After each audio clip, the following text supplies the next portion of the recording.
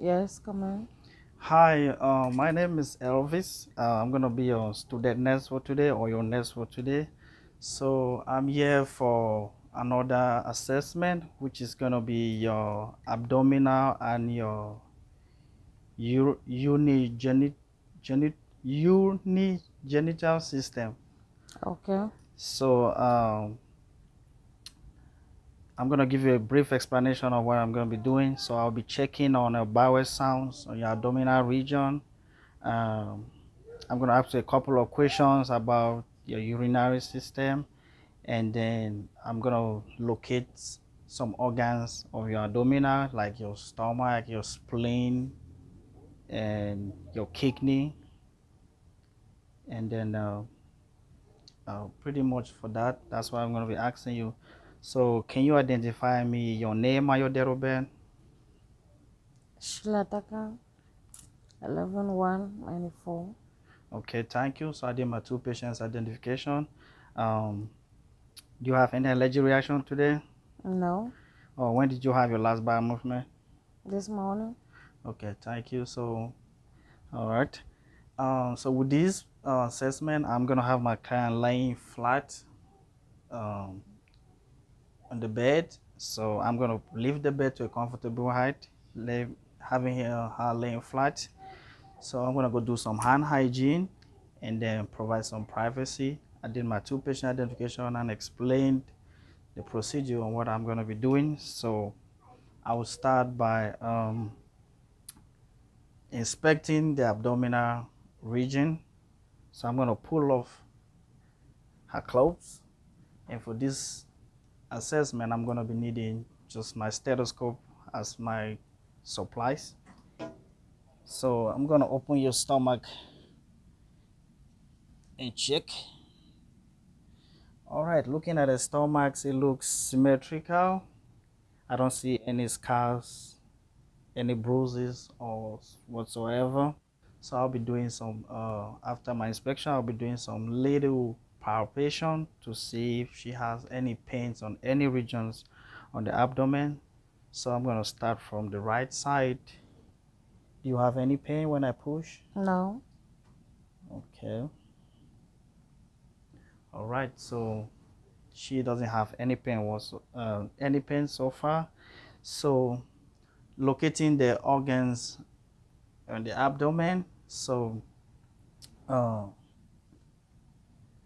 on the right side, just below the uh, bre- right breast, you have the spleen, and uh, midway in the middle, just below, you have the stomach, and then on the other corner, just by the stomach,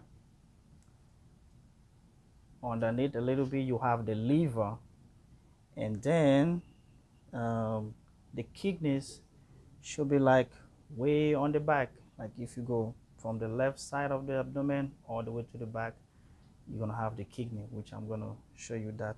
So, with that being said, I'm gonna go ahead and do some uh, auscultation to see if we can have any abnormal bowel sounds. So I'm gonna start from the right side of the stomach, which is like on this region right here. I'm gonna listen.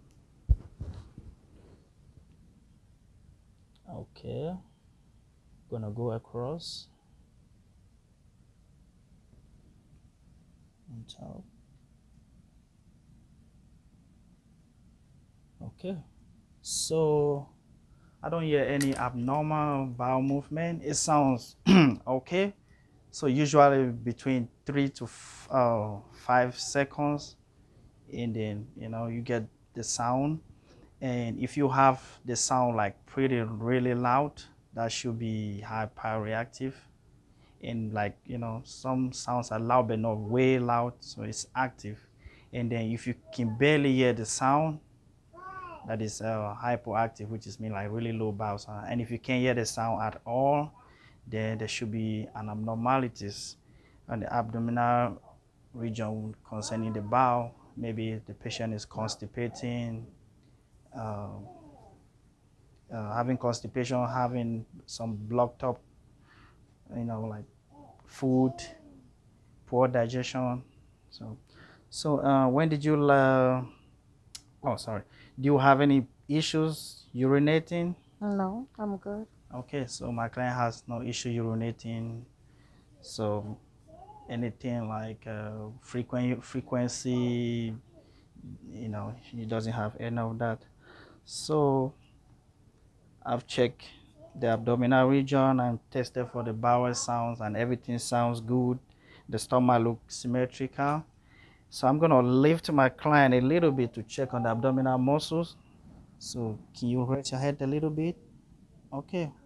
So when I raise my client up, I can see a line in the middle and I can really see the muscles popping out on both sides. So can you sit up for me? Okay. Turn all the way that way. Okay, like I said, the kidney is located uh, behind in the on the back, like midway down to the back, like right here. That's where the two kidneys are located, the left and the right kidney. So I'm gonna do some little um, tapping if I thought she has any pain. Any pain? No.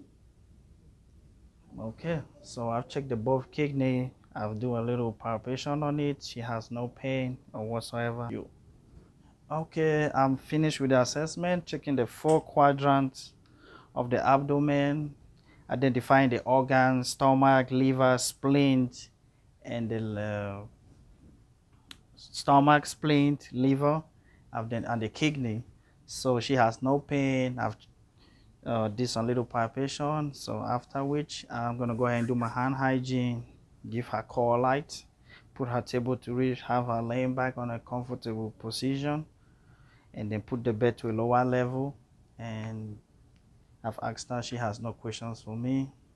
And that ends the assessment. Thank you.